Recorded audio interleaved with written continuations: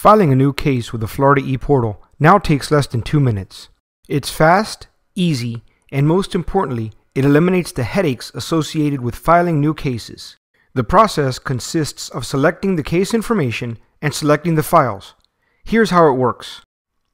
Select the new case menu item. Complete the basic information necessary for a new suit. Just simply click the particulars for the case and select your case type. Once you've completed the information, hit continue. You'll be presented with two input areas to load your files. The input window on the left is for your complaint and summons. The window on the right is for every other file that needs to be loaded.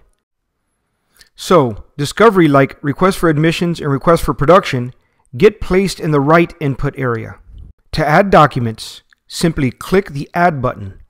Select your complaint and summons, and you can multi-select and select DocX files, PDF files, or both. Once you add your complaint and summons to the left window and all other files to the right window, you can add any exhibits to your complaint by simply selecting the Add Exhibits box and attaching your exhibits to the complaint.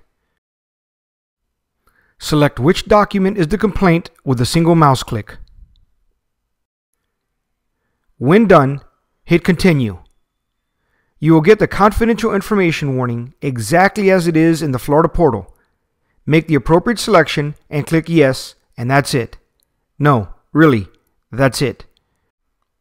Your new case will be filed with the ePortal and you will receive the filing information back via email.